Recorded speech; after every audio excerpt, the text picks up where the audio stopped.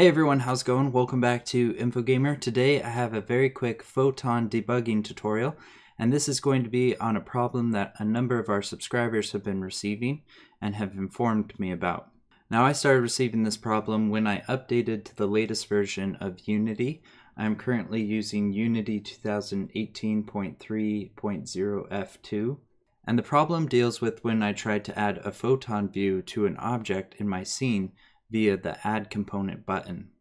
So if I click the add component button, and I'm just adding this to any game object, if I search photon view,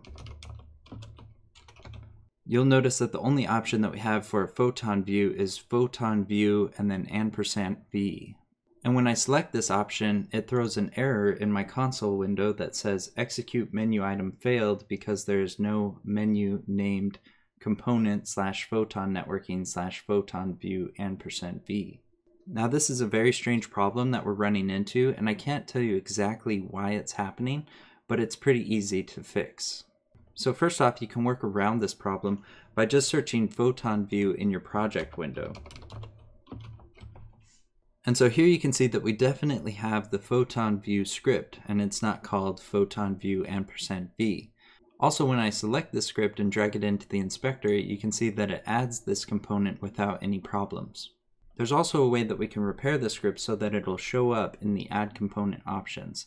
And to do this, we need to open our Photon View script. Once we have the script opened, we want to scroll down to this line here, which is line 30 for me, and it just says add component menu, and then in parentheses and quotes, it says photon networking slash photon view ampersand v. So if we remove the ampersand v and then save our script, we can then go back to Unity. Now I'm going to select any object and when I click add component, you can see that when we search photon view, we now have a photon view option that doesn't have the ampersand v.